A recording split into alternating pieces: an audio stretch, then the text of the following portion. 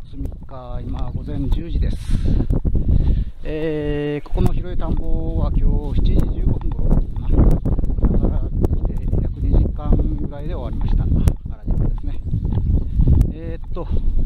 昨日水引さんから明日登ってくれって言われてたんで、水が入ってるか 5, 5時半頃見に来たら午前ですね。水が全然入ってなかったんですよね。大丈夫かなと思って登ってきたら、その7時15分頃登ってきたら、水が3分の1か2、3分の1ぐらいかな、まで水が溜まってましたので、3分の1ずつぐらい、こう荒じろしてですね、向こうにどんどん水を呼び込むようにしながら、向こうまで荒じろしました。えー、っと、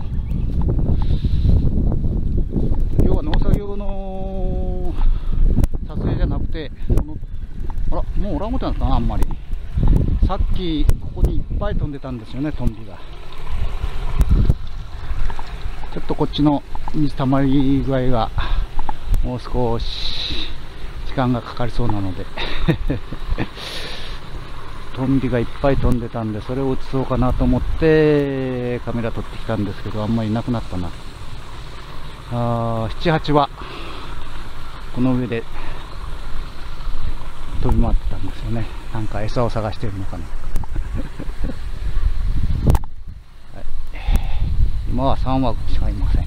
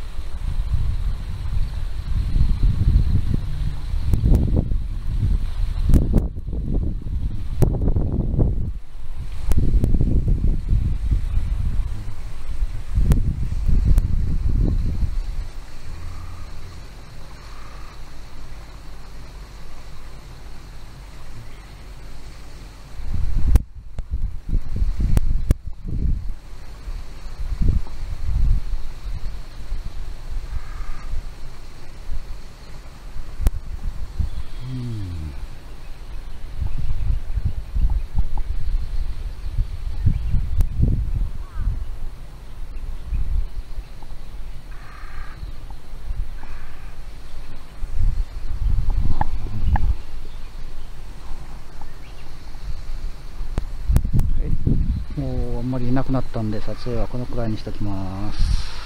もうちょっと水が向こうまで行かないと